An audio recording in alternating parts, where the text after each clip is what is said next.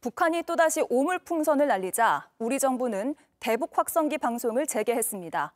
남북 관계가 강대강으로 치닫는 것에 대해 추미애 의원이 비판을 하자 나경원 의원은 곧바로 평화를 구걸한다고 맞받았습니다. 유한울 기자입니다. 대북 확성기 방송 재개를 놓고 여야 대표 여성 정치인이 맞붙었습니다. 포문은 추미애 민주당 의원이 열었습니다. 방송 재개는 과유불급이라면서 누가 뭐래도 평화가 전쟁보다 살 길이라고 본인 SNS에 글을 올린 겁니다. 추 의원은 정부가 박정희 전 대통령의 7.4 남북공동 성명으로부터 내려온 남북관계 발전법을 스스로 부정하고 있다고도 꼬집었습니다. 그러자 정확히 1시간 반 뒤 나경원 국민의힘 의원이 추 의원을 직격했습니다.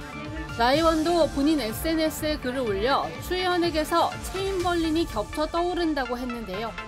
영국의 네빌 체인벌린 총리가 전쟁만은 피하기 위해서 체결했던 위넨 협정으로부터 불과 1년 뒤 독일이 폴란드를 침공했다는 겁니다. 나 의원은 평화는 상대의 선의를 바라는 희망으로 만드는 것이 아닌 힘의 결과라면서 대북 확성기를 비롯해 공세적인 대응이 이어져야 한다고도 덧붙였습니다.